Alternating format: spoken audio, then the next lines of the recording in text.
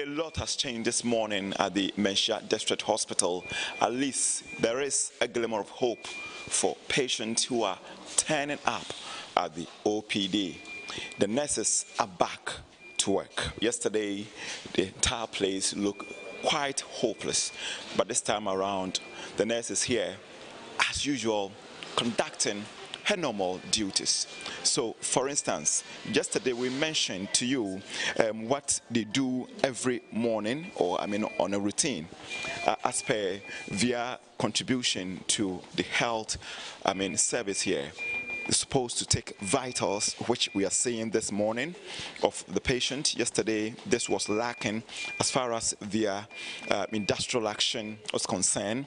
Now, this time around, they are back to duty, taking vitals of the patient, and then after that, the whole the entire system is networked so the information will be pushed to the doctor and based on the information pushed to the doctor the right prescription will also be administered by the doctor. This was missing yesterday but today we're seeing all of those happening.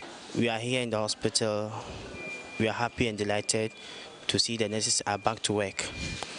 That itself is a pleasure to us inshallah.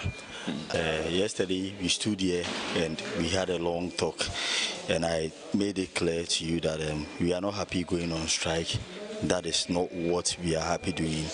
And we wish we'll be back quickly and um, attend to our patients and make sure they are doing very well. So that is exactly what um, I have come here to ensure. Just as I was here yesterday to make sure the strike action was ongoing. Some level of harmony as far as the working environment is concerned, because the doctors are also in the consulting room receiving information from the nurses who are also taking vital information from the patients.